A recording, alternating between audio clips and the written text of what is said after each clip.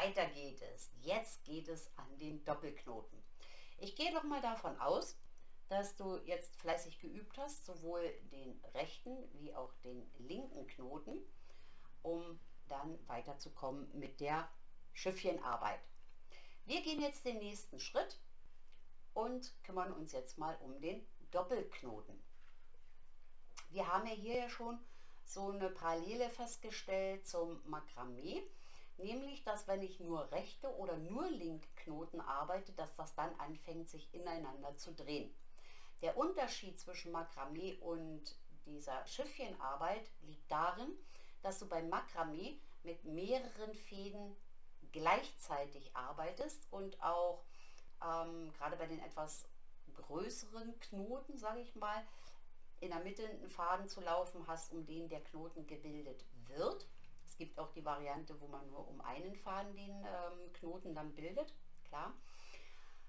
Aber wenn man immer ein und dieselbe Art und Weise des Knotens benutzt, ist es in beiden Techniken so, dass sich dann das gebildete Knoten aneinandergereihte in sich dreht. Entweder halt nach rechts oder nach links rumdreht.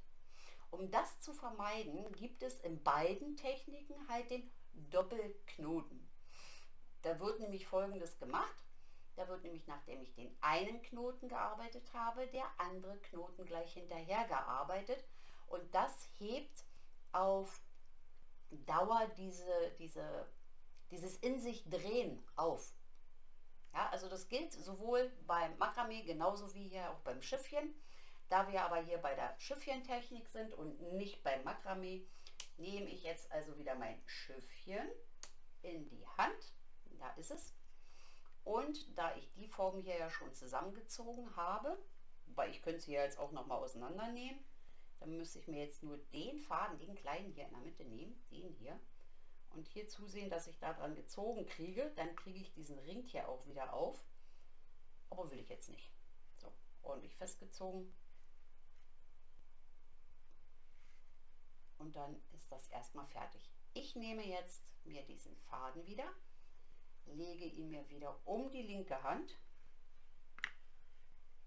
lege die Häkelnadel weg, damit sie mich nicht stört, weil noch brauche ich sie ja gar nicht. Na, genauso wie ich vorhin mit der beim rechten Knoten angefangen hatte, halte ich in dem Fall jetzt wieder den Anfang dieses Ringes mit Daumen und Zeigefinger fest spanne mit Mittelfinger, Ringfinger, Kleinfinger den Ring auf, sodass ich hier oben einen Faden habe, um den ich herum arbeiten kann. Wobei das nicht ganz stimmt. Ich führe das Schiffchen zwar da äh, lang, der Knoten an sich bildet sich jedoch mit Hilfe dieses Fadens, nicht mit dem Faden des Schiffchens. Auf diesem Faden läuft der Knoten. Und weil der Knoten an sich mit diesem Faden gebildet wird, wir gleich mal darauf achten, wenn die Knoten sich bilden, aus dem Grund wird nämlich auch dieser Ring irgendwann etwas zu eng für die Anzahl der Doppelknoten, die ich dort arbeite. Aus dem Grund darf ich dann irgendwann hier halt ziehen, dass der Faden vom Schiffchen nachrutscht und ich dann wieder mehr Platz zum Arbeiten habe, zum Bilden der einzelnen Knoten. Aber legen wir los. Doppelknoten. Wir beginnen mit einem rechten Knoten. So, und jetzt pass mal auf. Na, guck, mal hier, guck mal hier ganz genau hin.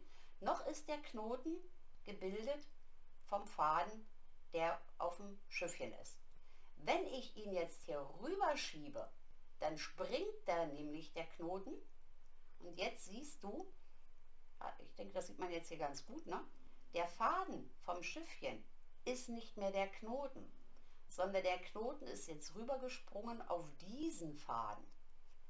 Und den schiebe ich jetzt wieder nach links rüber und halte ihn hier drüben fest. Ja?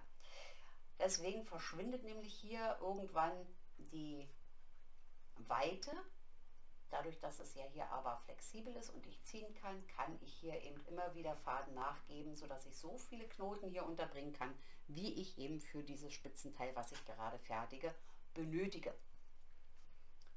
Rechter Knoten Nummer 1 ist gebildet. Ich habe gesagt, wir machen Doppelknoten. Doppelknoten bedeutet ein rechter ein linker,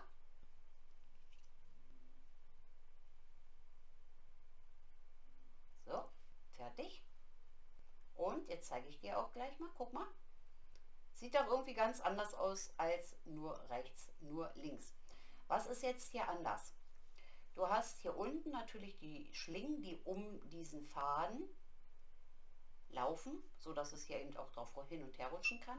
Und der Knoten hier oben an sich, der bildet jetzt eine Brücke, sage ich mal, so nenne ich es jetzt mal, so ein Steg, so eine Brücke über beide Knoten. Ja, über diese und über diesen. Und durch diesen, diese Art des Knotens, dadurch wird diese Drehung, die sich nach und nach, nach dem, beim Arbeiten nur von rechten oder nur von linken Knoten aufbaut, aufgehoben. Also einen rechten Knoten,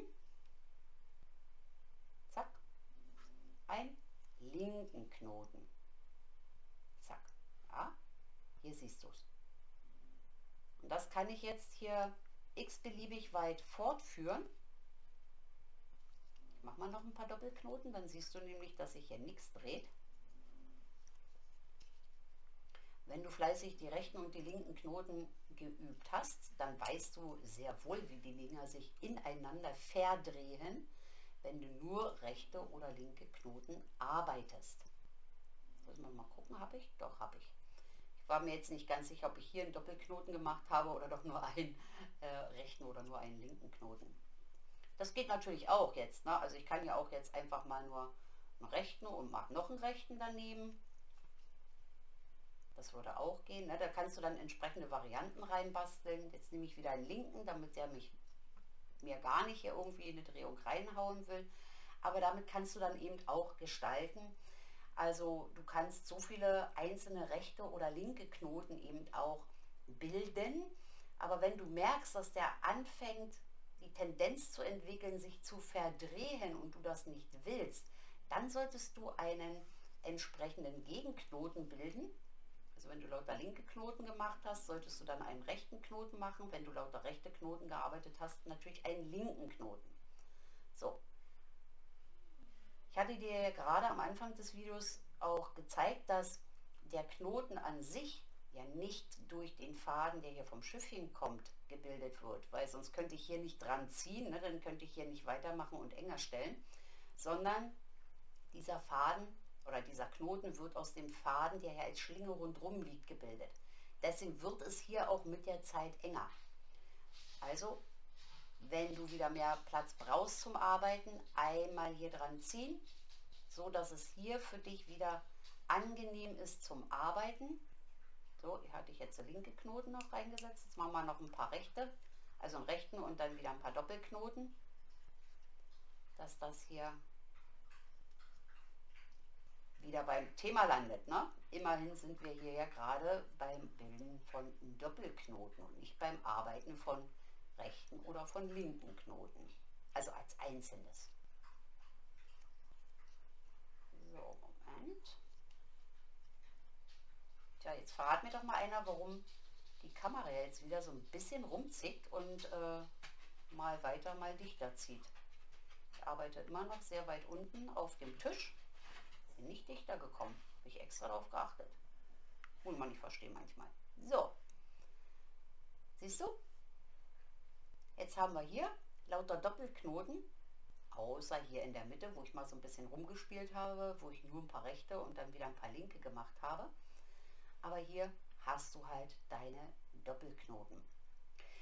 Was bei den Doppelknoten jetzt natürlich auch einfacher ist, sie durchzuzählen.